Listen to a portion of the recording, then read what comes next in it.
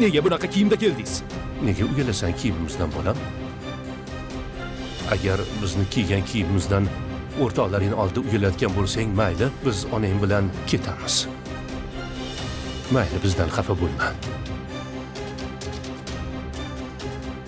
Aka dema meni meni senday ukam yo'q. Otalarini vafotidan so'ng shunaqa bo'lib qolgan. Endi akbar biz bilan birga yashamaydimi sizsiz rosa qiynalib ketdim. Rostini aytsam hozir asablarimiz joyida emas.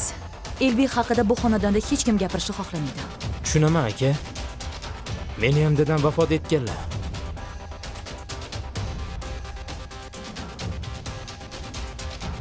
Vaqtim yo'q hozir. Lekin endi amakim bizning uyga kelmay qo'ydilar